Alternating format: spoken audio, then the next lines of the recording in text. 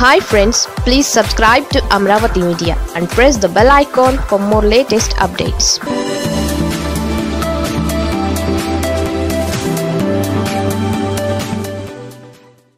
ఏం చెబుతీరి రాధాకృష్ణ గారు? అశోక్ గజపతిపై జగన్ కోపానికి కారణం ఇదా? హమ్మయ్య అశోక్ గజపతి రాజుపై జగన్ కక్షకు కారణమేంటో ఆంధ్రజ్యోతి రాధాకృష్ణ మొత్తానికి చెప్పేశాడు. ఎందుకు? ఆయన అన్న కూతురు సంచయితను తెర మీదకి తీసుకొచ్చి ఆమెను ముందు పెట్టి కథ నడిపిస్తున్నారు కూడా స్పష్టం చేశాడు. ఏంటయ్యా అంటే అప్పట్లో ఎర్రన్నాయుడు గజపతిరాజు చేసిన ఫిర్యాదు మేరకు హైకోర్టు సిబిఐ విచారణకు ఆదేశించిందట. దర్యాప్తు చేసిన సిబిఐ జగన్ను సాయిరెడ్డిని జైలులో పారేసిందట. అది మనసులో పెట్టుకుని రాజు నిన్ను జైలుకు పంపిస్తాం చూడు అన్నట్టుగా కక్ష ప్రదర్శిస్తున్నారట. త్వరలో గజపతిరాజు జైలుకు వెళ్ళక తప్పదని సాయిరెడ్డి మాట్లాడడానికి కారణం అదేనట. ఓహో అదా కారణం. అమ్మ జగను మనసులో ఇంత పెట్టుకునేవా మేము ఇన్నాళ్ళు జగన్ మీద అనవసరంగా ఎవరో శంకర్రావు ఫిర్యాదు చేశాడని చెప్పినట్టు వినడం లేదని సోనియాకు కోపం ఉంది కాబట్టి అప్పటి సిబిఐ బోలెడని కేసులు పెట్టేసి జగన్ను జైల్లో పారేసిందని చదువుతూ వచ్చాం. అదే నమ్ముతూ వచ్చాం. గజపతిరాజు కారణమా? రాసేవాడికి చదివేవాడు లోకువ అన్నట్టు రాధాకృష్ణ రాస్తూనే ఉంటాడు. మనం చదువుతూనే ఉంటాం.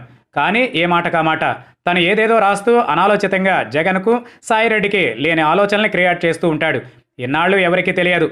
గజపతి రాజుల వంశ పారంపర్య నగా బోలెడంతుంది. వేల కోట్ల విలువ.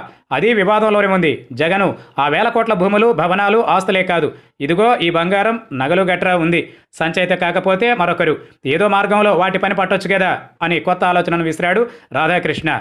అవన్నీ కుటుంబ ట్రస్ట్ సంబంధిత వ్యవహారాలు కాబట్టి సంచయితను ముందుపెట్టి ఆడించాల్సి వస్తోంది. నిజానికి ఆమె బీజేపీ. ఇప్పుడు హైకోర్టులో ఎదురుదెబ్బ తిన్నది. అశోకడి అన్న ఆనంద గజపతిరాజు బిడ్డ ఊర్మిళను వైసీపీలో చేర్చుకుని వాళ్ళను తెర మీదకి తీసుకొస్తే ఎలా ఉంటుంది? ఇక్కడ మరో మాట. రాధాకృష్ణ అశోక్ గజపతిరాజు రాసింది కరెక్ట్.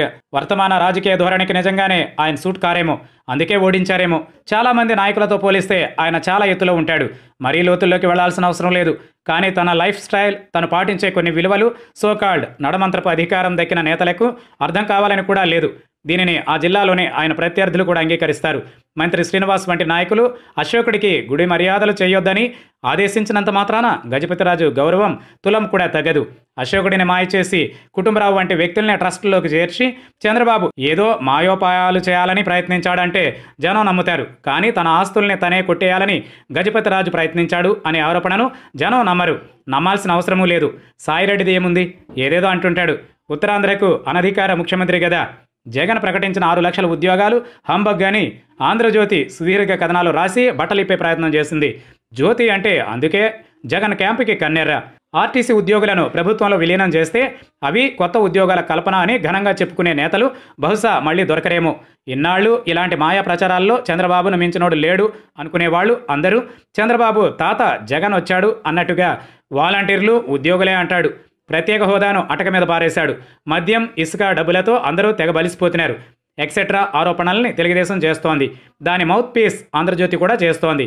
వాటి మాట ఎలా ఉన్నా మాన్సాస్ ట్రస్ట్ వ్యవహారంలో అశోకుడిని టార్గెట్ చేయడం వేస్ట్ ఒకవేళ తనను జైలుకు పంపించాడని జగన్కు కోపం ఉన్నా సరే కక్ష తీర్చుకోవాలని కుతకుతలాడుతున్నా సరే అశోకుడి ఫిర్యాదుతోనే తాను జైలుకు వెళ్ళడం నిజమే అనుకున్నా దానికి సూత్రధారి చంద్రబాబు అవుతాడు. అశోకుడు కేవలం పాత్రధారి మాత్రమే. ఆ సూత్రధారిని ఏం చేయగలిగారు? కత్తి మీద కాదు కక్ష చూపాల్సింది. కత్తి పట్టుకున్న ప్రత్యర్థి పని కదా పట్టాల్సింది.